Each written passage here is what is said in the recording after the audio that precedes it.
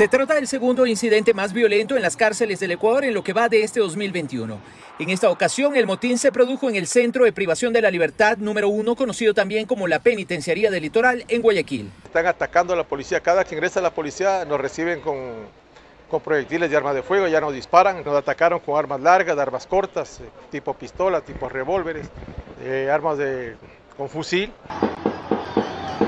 El director del Servicio Nacional de Atención Integral a Personas Adultas Privadas de la Libertad, SNAI, Bolívar Garzón, quien coincidentemente fue designado este martes y es el tercero en lo que va de gobierno, explicó las causas de los hechos de violencia. Tenemos eh, 30 muertos confirmados y 52 heridos.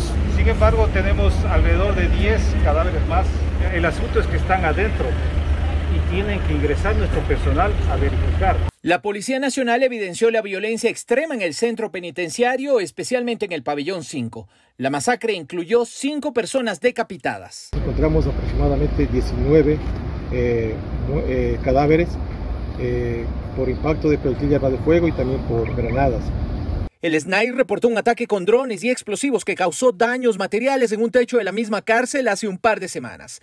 En febrero tuvo lugar el motín carcelario más mortífero en la historia ecuatoriana, que dejó 79 reclusos fallecidos tras cuatro levantamientos simultáneos. Néstor Aguilera, Voz de América, Quito.